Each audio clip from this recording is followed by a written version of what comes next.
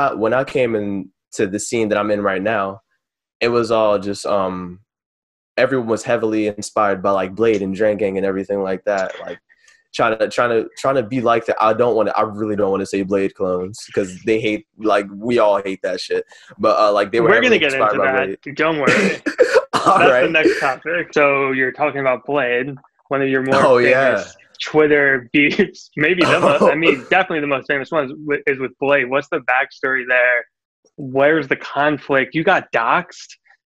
Oh Let's yeah, that was. Oh, oh, you heard Yeah. about that? Oh yeah, that was. Yeah. Oh, that was crazy. Um, um, after after everyone started making like more poppy type music, more creative shit, I was like, this. I yeah, as you saw, I tweeted out the scenes progressed past the need for Bladee, and that was worded horribly, like terribly, like Right, yeah. like, but um. And people, pe- like everyone in, like I don't want to say everyone in the scene because I don't want to like incriminate anybody, but like most people I first I talked to most of the artists in the scene. I was like, "Yo, you think there's a need for Bladee anymore?" It was like, "Hell no." I was like, "All right."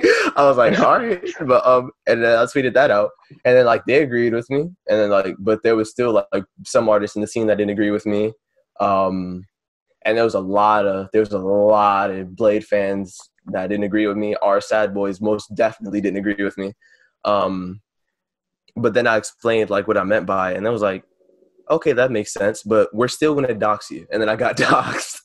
um, but uh, no, I, I got I got doxxed. Uh, and then I spoke to the people who doxed me. It was like they said something like, um, "How about we?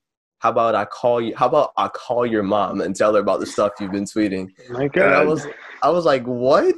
Like, you're basically."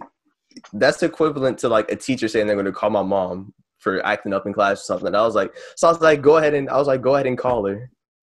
And like, matter of fact, I'm right in front of her. She's using her phone, and it was like, have a nice day, Quinn. And I was like, all right, but yeah, that whole situation was messy. It seems like it, it's kind of blown over, right? Oh yeah, it's definitely blown over. Like those people still have my those people still have my info, but like as they were going on, they admitted that they were starting to feel bad for it. So yeah,